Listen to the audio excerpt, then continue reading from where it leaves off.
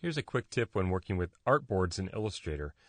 I tend to create documents that have lots of artboards, and I've got one open right now, and if I press Shift O, I can see all the different artboards. It just takes me to my artboard tool, and you'll see all the different artboards I've got out here. Now, a lot of times I, of course, want to be able to save each one of these as a separate image, and that's what happens by default. Every time we create an artboard, it's actually cropped or sliced to the selected artboard. So let me go back to my selection tool.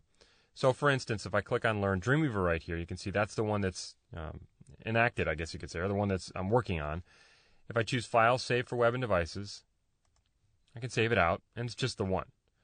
Now, there are times where I want to save all of these. Let's say I've got all these banners or, you know, whatever you guys are working on, maybe page layout, whatever, and you want to save them as one big image.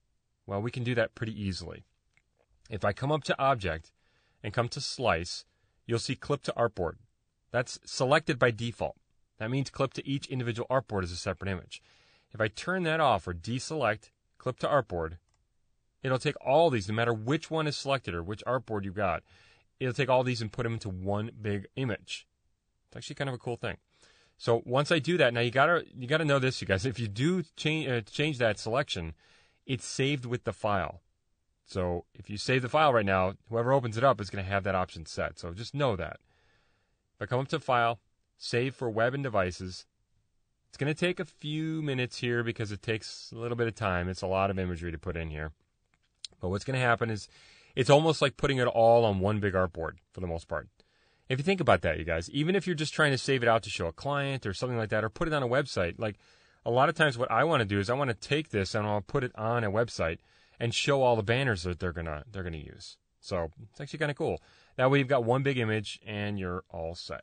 So anyway, I can change the you know settings that sort of thing, save it out, and I've got one big picture. But that's it. That's pretty much the uh, the gist of it. And you guys saw how big that artboard was. It's probably because I have this little bit of text sitting down here. Usually it should crop to the artboard, so let me get rid of that, and I'll try that one more time. I just realized that. Save for web and devices. It'll take a few seconds here. It was trying to process that enormous artboard it was going to do. I'm going to fit it in the window, Control Zero or Command Zero, and there we go. That looks a little better. All right.